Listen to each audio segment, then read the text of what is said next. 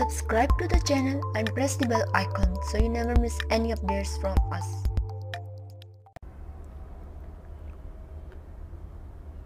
तो students Avogadro's number के बारे में आज हम डिस्कस करेंगे। आपको जैसे पता है, हमने प्रीवियस लेक्चर में पढ़ा कि जो अटामिक मैस यूनिट है, जो कि एक पार्ट एटम जो है, छोटे पार्टिकल होते हैं तो इनका वेट करना बहुत ज़्यादा डिफ़िकल्ट होता है। तो हमने उनको, उनके लिए एक स्टैंडर्ड यूनिट बना लिया, जिसको हम अटामिक मैस यूनिट बोलते हैं।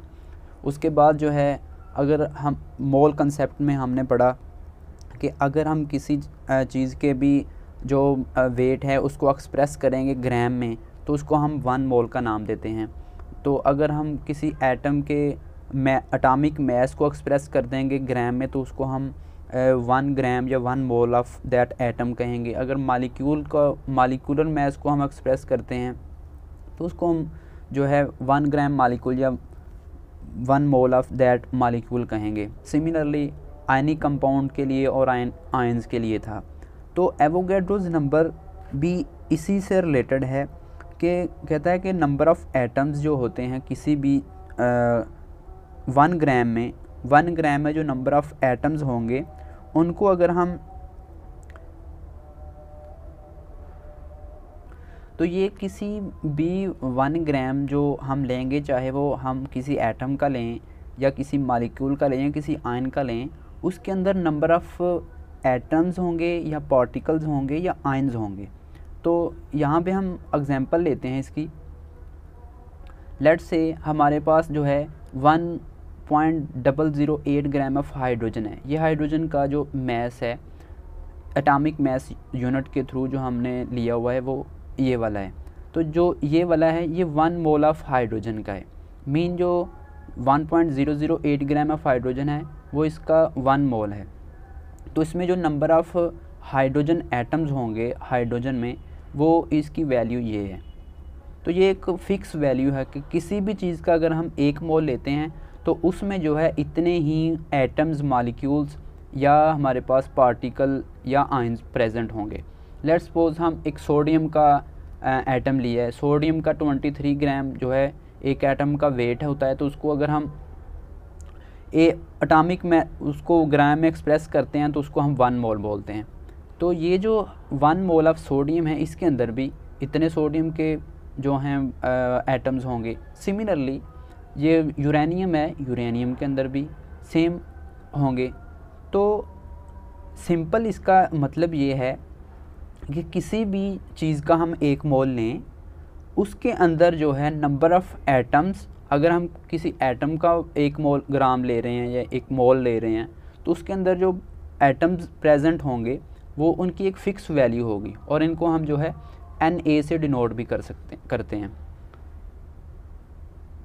अगर हम मालिक्यूल की बात करें तो मालिक्यूल का हम मालिकुलर मैस लेते हैं। ये देखें, अगर हम 18 ग्राम वाटर लेते हैं, अगर वाटर का हम मालिकुलर मैस चेक करें तो इसका 18 ग्राम आता है तो वो वन मोल के ज़ाहिर है। वो मालिक्यूल का जो मालिकुलर मैस है वन मोल में, वो इतना होगा। तो उसमें जो नंबर ऑफ़ मालिक्यूल होंगे, उसकी वैल्यू भी जो है, वो एन ए के इक्वल होगी।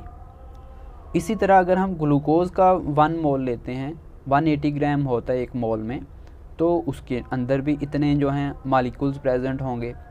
सिमिलरली सुक्रोज़ का अगर हम वन मोल लेते हैं, जिसका मालिकुलर मैस ये वाला होता है तो उसके अंदर भी इतने जो हैं हमारे पास मालिकुल्स प्रेजेंट होंगे। सेम कंडीशन इधर है कि अगर हम कोई आयन्स लेते हैं तो वन मोल जो किसी भी आयन का हम लेंगे, उसका जो आयनिक मैस होगा, उसको हम एक्सप्रेस करेंगे ग्राम में।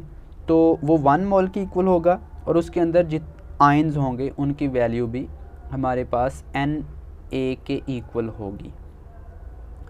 सिंपली अगर हम किसी भी चीज़ का एक मोल लेंगे तो एक मोल के अंदर जो अगर हम किसी एटम का ले रहे हैं तो उसके अंदर एन ए वैल्यू होगी एटम्स की। अगर हम मालिक्यूल का ले रहे हैं तो उसमें मालिक्यूल की एन वैल्यू होगी। अगर हम किसी आयन का ले रहे हैं तो उसमें आयन की इतने आयन्स की वैल्यू होगी। लेकिन जो इंटरेस्टिंग चीज़ है, देखें कि वन मोल किसी भी चीज़ का हम लें तो उनके अंदर जो मैसेज हैं उनके, वो डिफरेंट हैं।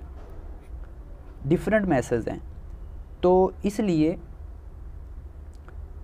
किसी भी चीज़ का जो अटामिक मैस होगा फॉर एलिमेंट मालिकुलर मैस होगा फॉर कंपाउंड और आयनिक मास होगा फॉर आयनिक स्पीशीज़ तो उसको हम जब एक्सप्रेस करते हैं ग्राम में तो उसको हम वन मोल बोलते हैं और वन मोल में जो फिक्स वैल्यू है एटम्स की आयंस की या मालिक्यूल्स की, वो एन ए के इक्वल होती है।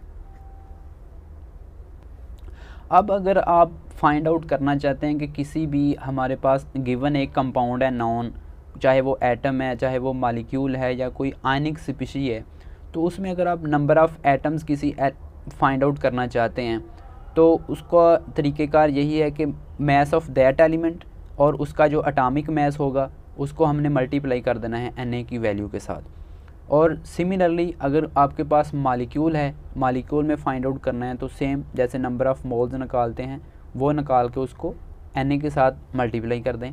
सिमिलरली अगर आयनिक स्पीशीज़ हैं आपके पास तो उनके भी आप सिमिलरली नंबर ऑफ़ आयन्स निकालेंगे और उसको मल्टीप्लाई कर देंगे एन ए वैल्यू के साथ। इसके बाद आता है कि लेट से